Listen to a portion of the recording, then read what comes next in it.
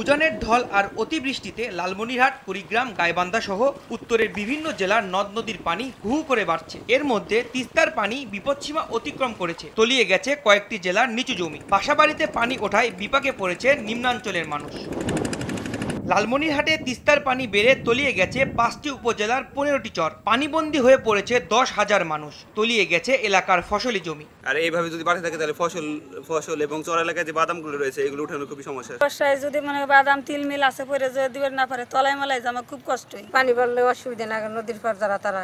তাকে তো অসুবিধাই। বন্যা পূর্বাভাস ও সতর্কীকরণ কেন্দ্র জানায় শনিবার থেকে তিস্তা নদীর পানি বেড়ে রংপুর লালমনিরহাটে বন্যা দেখা দিয়েছে। আগামী সপ্তাহের মাঝামাঝি অথবা শেষ নাগাদ যমুনা ব্রহ্মপুত্রের পানি বিপদসীমা অতিক্রম করতে পারে। উত্তরাঞ্চলের কুড়িগ্রাম গাইবান্ধা এবং উত্তর মধ্যাঞ্চলের জামালপুর এবং বগুড়া সহ এই অঞ্চলগুলোতে আগামী সপ্তাহে শেষ নাগাদ বন্যা আঘাত হানতে পারে।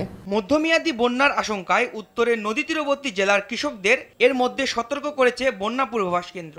এটা একটা মধ্যমেয়াদী বন্যা হতে পারে এবং হয়তো বন্যার স্থায়িত্বকাল আপনার এক থেকে দু সপ্তাহের মতো হতে পারে আর কি। এই অঞ্চলগুলোর যারা কৃষক তাদের জন্য আমরা মোটামুটি পনেরো দিন আগেই একটা সতর্কবার্তা দিয়েছি এই বন্যাটার বিষয়ে যে তারা যাতে এই মুহূর্তে বিস্তলা রোপণ করা থেকে কিছুটা বিরত থাকে। করোনাকালে বন্যা মোকাবেলায় প্রশাসনকে বাড়তি সতর্কতার পরামর্শ দিয়েছে বিশেষজ্ঞরা। Cox's Bazar Bandarban. Sakibur Rahman R TV Dhaka.